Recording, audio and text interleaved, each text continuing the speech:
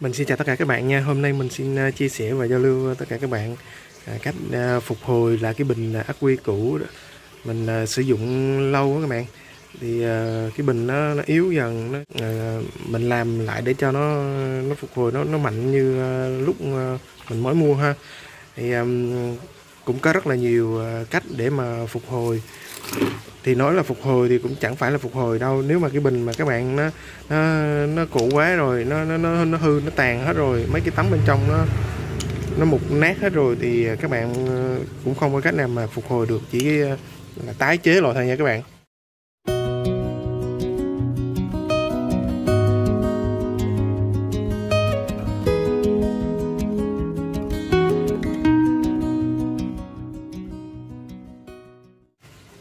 Thì đây mình uh, chia sẻ các bạn nè.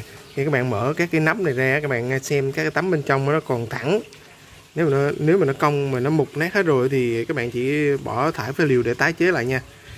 Còn như cái bình này thì mình mua phế liệu về mình làm video cho các bạn xem là thì ờ, nó nó phình ra thôi nhưng mà mình thấy các cái tấm bên trong nó vẫn còn thẳng. Thì cái này thì mình có thể làm lại được.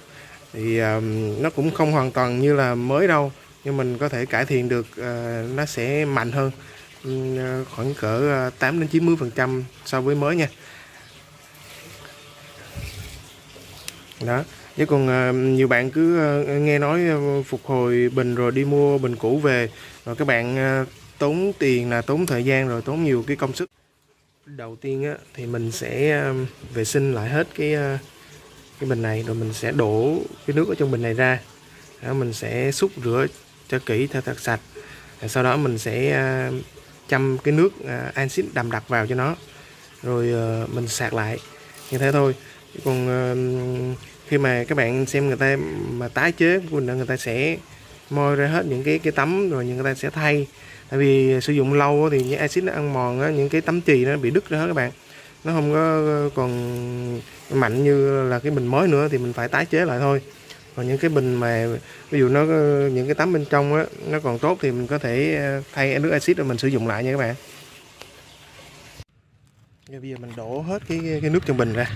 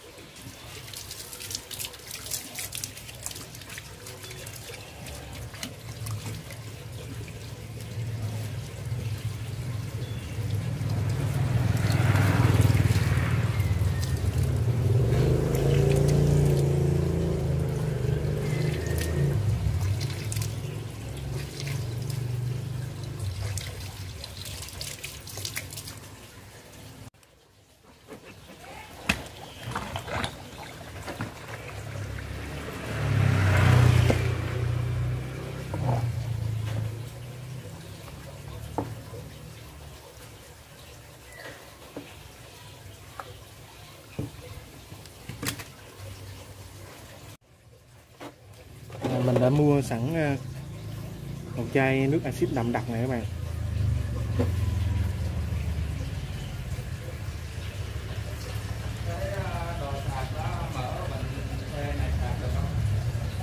Yeah.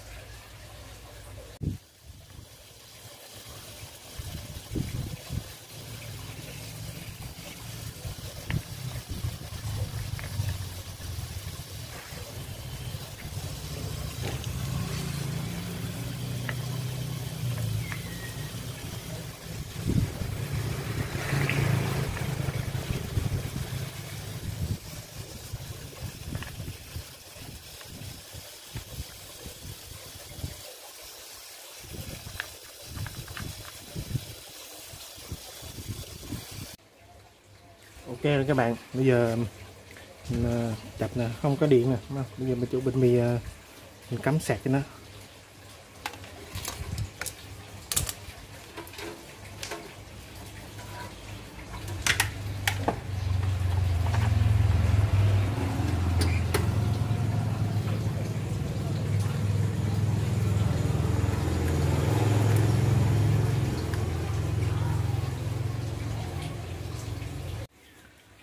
Ok, bây giờ mình à, để nó sạc từ à, 5 đến 10 tiếng nha các bạn.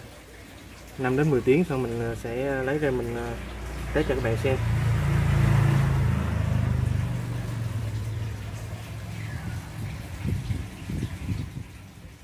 Ok các bạn, sáng giờ mình sạc cũng đã hơn 8 tiếng rồi.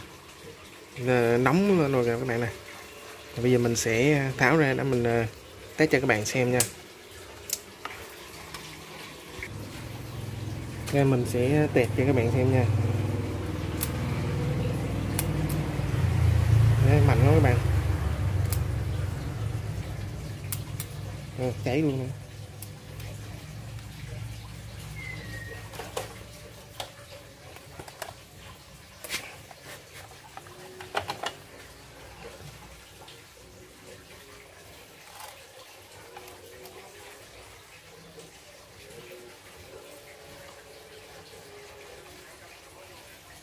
Lên ờ, gần 15V luôn đó các bạn.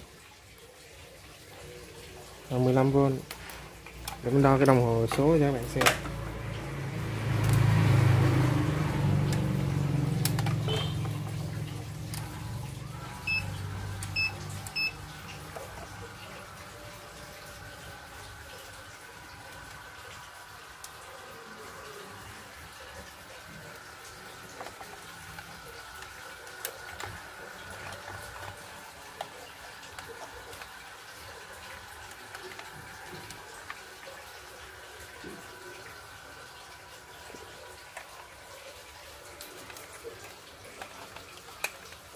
Bạn xem này sạc đầy lên tới ờ, 13V luôn. À, 13V 22 Đấy. Vậy như vậy là cái bình này á nó vẫn còn ờ, các cái tấm ờ, trong này nó vẫn còn tốt nè các bạn. Mình sạc ok nè.